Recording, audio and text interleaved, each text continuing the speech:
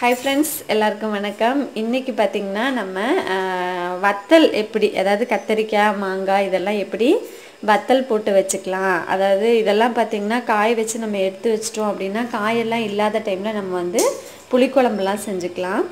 Already நம்ம வந்து சுண்ட சுண்டை வத்தல்லாம் பார்த்தோம். அது வந்து நம்ம குழம்பும் செஞ்சுக்கலாம் நம்ம வறுத்து தயிர் சாதத்துக்கெலாம் நம்ம வறுத்தும் சாப்பிட்டுக்கலாம். ஆனால் இந்த கத்தரிக்காய் மாங்காய் இதெல்லாம் பார்த்திங்கன்னா நம்ம ஒன்று புளிக்குழம்புல போட்டுக்கலாம். குழம்பு வகை தான் செய்ய முடியும். ஸோ எனக்கு கொஞ்சம் கத்திரிக்காய் நிறைய நான் வாங்கியிருக்கேன். ஏன்னா இந்த டைமில் நான் காய வச்சு வச்சாதான். ஸோ அதனால இந்த க கத்திரிக்காய் வத்தல் எப்படி போடுறதுன்னும் மாங்காய் வத்தல் எப்படி போடுறது அப்படிங்கிறதையும் பார்க்கலாம். இதே தான் ஒன்றும் கிடையாது. நல்லா தண்ணி கொஞ்சம் நல்லா கொதிக்க வச்சுட்டு அதில் உப்பு கொஞ்சம் நிறையவே போட்டுக்கோங்க. அதே மாதிரி மஞ்சத்தூள் போட்டு தண்ணி நல்லா கொதிக்க வச்சு இந்த கத்திரிக்காயை இதில் போட்டு லேசாக கொதி வந்தால் போதும். ஏன்னா குழஞ்சிரும். காயே குலையக்கூடாது கொதி வந்த உடனே நம்ம என்ன பண்ணலாம்? இறக்கி வடிகட்டி காய வச்சு நல்லா காஞ்ச உடனே எடுத்து வச்சுக்கிட்டோம் அப்படின்னா நம்மளோட கத்தரிக்காய் வத்தல் வந்து ரெடி ஆயிரும். அதே ப்ராசஸில் மாங்காயும் செஞ்சு வச்சுக்கலாம். இந்த மாங்காய் கொத்தவரங்காய் கத்தரிக்காய் இதெல்லாம் போட்டு சின்ன வெங்காயம் எல்லாம் போட்டு புளிக்குழம்பு செஞ்சோன்னா அவ்வளோ டேஸ்ட்டாக இருக்கும். காய்கறி எல்லாம் இல்லாத டைமில் நம்ம இதை வந்து செஞ்சு வச்சுக்கலாம். நல்லா காஞ்சி எடுத்த உடனே நல்லா காற்று போகாத டப்பாவில் போட்டு அடைச்சி வச்சிட்டோன்னா ரொம்ப நாளைக்கு நம்ம வச்சுக்கலாம். கீழே பிளைன்ஸ்லாம் வந்து ரொம்ப நாளைக்கு வரும். ஆனால் இங்கே வந்து நான் இந்த ஹில்ஸ் ஏரியாவில் வந்து அப்படி ப்ரிசர்வேட்டிவாக வச்சுக்கணும் அப்படின்னா ஏர்டைட்டு கண்டெய்னர் பாக்ஸில் போட்டு ஃப்ரிட்ஜுக்குள்ளே வச்சுக்கிட்டோம் அப்படின்னு சொன்னால் இருக்கும். ஒன்றும் பிரச்சனை இல்லை. நம்ம சமைக்கிற போது எடுத்து தண்ணியில் போட்டு கொஞ்சம் நேரம் ஊற வச்சுட்டு நம்ம சமைச்சிக்கலாம். ரொம்ப சூப்பராக இருக்கும் அந்த வத்த குழம்பு. அது எனக்கு ரொம்ப பிடிக்கும் அப்படின்றனால நான் வந்து இந்த கத்திரிக்காய் வாங்கி இன்றைக்கி வத்தல் போடுறேன் நான். உங்களுக்கு ரெண்டு வகை ரெண்டு வகையான வத்தல் வந்து இன்றைக்கி மாங்காயும் இதே ப்ராசஸில் எப்படி பண்ணுறது அப்படிங்கிறத பார்க்கலாம். போட்டு நம்ம காய வச்சு எடுத்து வைக்கலாம். கத்திரிக்காயை நம்ம நல்லா அலசிட்டு இப்போ போட்டிருக்கோம். ஒரு ஒரு மூணு நிமிஷம் நான் வந்து இட்லி பாத்திரத்தை மூடி வச்சிடுறேன். தயவுசெய்து குழஞ்சிராம பார்த்துக்கோங்க அதுதான் இதில் மெயின் குழஞ்சிருச்சு அப்படின்னா நம்மளை காய வச்சு அதில் ஒன்றுமே இருக்காது. லேசாக கொஞ்சம் சூடேறி கொதிச்சா மட்டும் போதும். இப்போ நம்ம எப்படி வத்தல் மாவத்தலும் இதுவும் இன்னைக்கு எப்படி காய வச்சு எடுக்கிறது அப்படிங்கிறத பார்க்கலாம் இன்றைக்கி பார்த்தீங்கன்னா இப்போ வெந்துருச்சான்னு பார்க்கலாம். பாருங்கள் ஆல்மோஸ்ட் நமக்கு வந்து கத்திரிக்காய் வந்து ஓரளவுக்கு வெந்திருக்கு. இந்த அளவுக்கு போதுமானது. இப்போ வந்து நம்ம இதை நல்லா வடிகட்டிட்டு இது வந்து காய வச்சு எடுத்தோம் அப்படின்னா கத்திரிக்காய் வத்தலும் ரெடி இதே ப்ராசஸில் மாங்காய் வத்தலும் ரெடி ஆயிரும். இந்த மாதிரி வத்தல்லாம் போட்டு வச்சிட்டோம் அப்படின்னா வத்தக்குழம்பு வச்சோம்னா ரொம்ப டேஸ்ட்டாக இருக்கும். அந்த ட்ரையாக காய வச்சது எல்லாத்தையும் சேர்த்து நம்ம வந்து குழம்பு செஞ்சோன்னா அது ரொம்ப டேஸ்டி. காய்கறி வியாபாரம் பண்ணுறவங்க காய்கறி விவசாயம் பண்ணுறவங்க இந்த மாதிரி கத்திரிக்காயெல்லாம் நிறைய பண்ணி நான் பார்த்துருக்கேன். பட் இங்கே நம்மளுக்கு அதுக்கான இதில் கத்திரிக்காயெல்லாம் நீங்கள் அவ்வளோ இங்கே வரது கிடையாது. ஸோ நம்ம கடையில் வாங்கி தான் போட்டு வச்சுக்கிறோம். ஏன்னா அந்த குழம்பு பிடிக்கும் அப்படிங்கிறதுக்காக சமைக்கிறதுக்கும் வீட்டில் இருக்கவங்களுக்கு சமைச்சு கொடுக்குறதுன்றது ஒரு சந்தோஷம்தான் ஸோ அதுக்காக இந்த மாதிரி ரிஸ்க் எடுக்கிறதுல ஒன்றும் தப்பு கிடையாது. ஸோ இந்த மாதிரி எல்லோரும் ட்ரை பண்ணுங்கள் ட்ரை பண்ணிவிட்டு எப்படி இருக்குன்னு சொல்லுங்கள் இதை வந்து இப்போ வடிகட்டி நம்ம மாடியில் காய போட்டுடலாம். பார்த்திங்கன்னா நம்ம கத்திரிக்காய் எப்படி வத்தல் போட்டோமோ அதே மாதிரி மாங்காயும் கொதிக்கிற தண்ணியில் போட்டு நான் எடுத்து வச்சுருக்கேன்.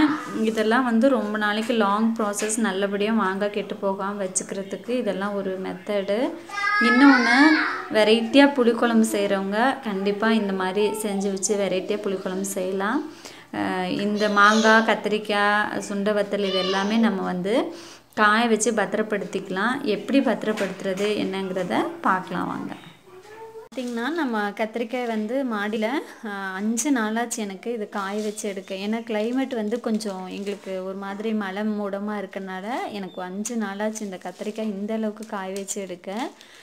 ஸோ பார்த்தீங்கன்னா நல்லா காஞ்சிருக்கு. இதை வந்து நம்ம பத்திரமா ஸ்டோர் பண்ணி வச்சுக்கிட்டோம் அப்படின்னா நமக்கு பிடிச்ச புளிக்குழம்பு அழகாக செஞ்சு நீட்டாக சாப்பிட்லாம். இது இந்த மாதிரி லாக்டவுன் பீரியடில் நம்ம வீட்டில் இருக்க டைமில் நம்ம இந்த மாதிரிலாம் செஞ்சு வச்சோம் அப்படின்னு சொன்னால் அதுக்கப்புறம் லாக்டவுன்லாம் முடிஞ்சு நம்ம ஹரிபரியாக வேலைக்கெல்லாம் போகிற டைமில் ஏதோ ஒரு நாள் காய் வாங்க முடியல அப்படின்னா நம்ம சமைச்சிக்கலாம். அதே மாதிரி இந்த கத்திரிக்காய் வத்தல் பார்த்திங்க அப்படின்னா நல்லா இந்த அளவுக்கு காயணும். அதே மாதிரி நம்மளுக்கு மாங்காய் வத்தலும் பார்த்திங்க அப்படின்னா நல்லா காஞ்சி நமக்கு இப்படி இருக்குது அதே மாதிரி சுண்ட வத்தலும் நமக்கு நீட்டாக காய வச்சு நல்லா இருக்குது சுண்ட வத்தல் வந்து டூ இன் ஒன் பர்பஸ் ஒன்று வந்து நம்ம சும்மாவும் வெறுமனே தயிர் சாத்துக்கலாம் வறுத்துக்கலாம். இன்னொன்று சுண்டல் வத்த குழம்பும் வச்சுக்கலாம். இது ஒன்று பார்த்தீங்க அப்படின்னா இதை நம்ம நீட்டாக காற்று போகாத டப்பாவில் பாக்ஸில் இல்லைன்னா பிளாஸ்டிக் கவரில் ஃபோல்ட் பண்ணி கூட ஒரு டப்பாவில் போட்டு கூட பத்திரமா வச்சுக்கிட்டோம் அப்படின்னா நீட்டாக இருக்கும். இன்னொரு விஷயம் பார்த்தீங்க அப்படின்னா இது நீங்கள் பார்க்குறதும் சு மாங்காய் வத்தல் தான். இது வந்து ஆக்சுவலாக நான் போன வருஷம் இதே மாங்காய் மே மாத சீசனில் நான் போட்டு காய வச்ச மாங்காய் தான். இது ஒன் இயர் நான் வந்து குழம்பு செஞ்சு அப்புறம் அது கே ஃப்ரெண்ட்ஸ் எல்லாம் கேட்டவங்களுக்கெல்லாம் கூட கொஞ்சம் கொடுத்தேன். அப்படி இருந்தும் எனக்கு வந்து நான் கொஞ்சம் நிறைய குவாண்டிட்டி போட்டு வச்சுருந்தனால இந்த அளவுக்கு எனக்கு பேலன்ஸ் இருந்தது. ஸோ இனி அடுத்து குழம்பு செய்யலை. இதை ஃபஸ்ட்டு செஞ்சுட்டு அதுக்கப்புறமா அந்த வத்தல் எடுத்து செய்ய வேண்டியதுதான்.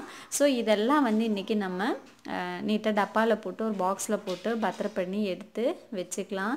இதெல்லாம் நம்ம இந்த மாதிரி ஃப்ரீயாக வீட்டில் இருக்க டைமில் என்னடா பண்ணுறது அப்படின்னு யோசிக்காமல் இந்த மாதிரி ஒரு ஒரு விஷயங்களை நம்ம செஞ்சோன்னா நம்மளுக்கும் டைம் பாஸாக இருக்கும். இன்னொன்று டேஸ்டியாக சாப்பிட்லாம். ரிஸ்க் எடுத்து சமைச்சு டேஸ்டியாக சாப்பிட்றதுல இருக்க அந்த ஒரு இதே வந்து வேறு தான் இந்த சமையல் கலையை பிடிச்சவங்க சமைக்க ரொம்ப பிடிக்கிறவங்க கட்டாயம் இந்த மாதிரி வேலையெல்லாம் செய்வாங்க கண்டிப்பாக பார்க்கலாம். இதெல்லாம் வந்து ஒரு பாக்ஸில் போட்டு நம்ம அடைச்சி வச்சுக்கலாம். இப்போ பார்த்திங்கன்னா ஒரு இதெல்லாம் பார்த்திங்கன்னா இந்த ஒரு பாக்ஸில் போட்டு நல்லா காற்று போகாமல் அடைச்சி வைக்கணும்.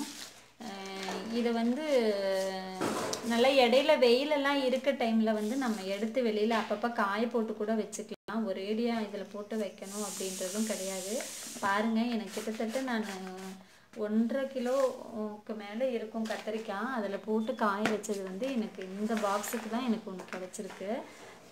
இந்த அளவுக்கு தான் கிடைக்கும் நம்மளுக்கு. ரொம்ப காஞ்சிச்சின்னா இதாயிரும். இது வந்து நமக்கு ஒன்று ரெடி ஆயிட்டு அதே மாதிரி நம்ம மாங்காய் பார்த்திங்கன்னா மாங்காய் கொஞ்சம் நிறைய இருக்கிறதுனால ஒரு பெரிய இது வந்து ஹார்லிக்ஸ் பாட்டில் தான். நான் மேக்ஸிமம் இந்த மாதிரி கிச்சன் இதெல்லாம் வந்து டப்பா பாக்ஸ் இந்த மாதிரிலாம் நிறைய நான் வெளியில் வாங்குறது அவ்வளோ கிடையாது. வீட்டில் இருக்கிறதே வச்சு நான் இது பண்ணிக்குவேன்.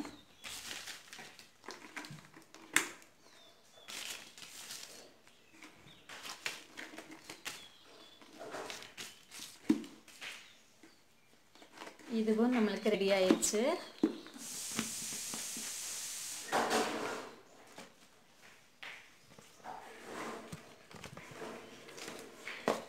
பார்த்தீங்கன்னா அப்புறமா நம்மளுடைய இருந்துச்சு இல்லையா? அதையும் ஒரு பாக்ஸில் நம்ம போட்டுடலாம்.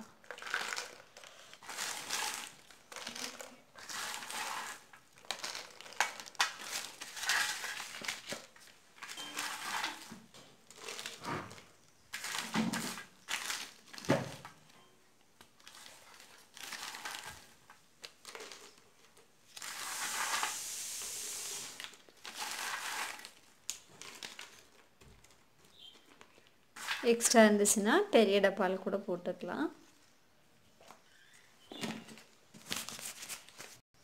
இது மாதிரி நம்ம போட்டு எடுத்து வச்சுக்கிட்டோம் அப்படின்னு சொன்னால் நம்மளோட வத்தல்லாம் சூப்பராக ரெடியாக இருக்குது இதே மாதிரி நீங்களும் உங்களுடைய ஃப்ரீ டைமை பயனுள்ளதாக்கிக்குவீங்க அப்படின்னு நான் நம்புகிறேன் பார்த்துட்டு எப்படி இருக்குன்னு சொல்லி கமெண்டில் சொல்லுங்கள் லைக் பண்ணுங்கள் ஷேர் பண்ணுங்கள் கமெண்ட் பண்ணுங்கள் மறக்காமல் பக்கத்தில் இருக்க பெல் பட்டனை ப்ரெஷ் பண்ணுங்கள் அப்போ தான் என்னுடைய அடுத்த வீடியோ உங்களுக்கு வந்து சேரும். தேங்க்யூ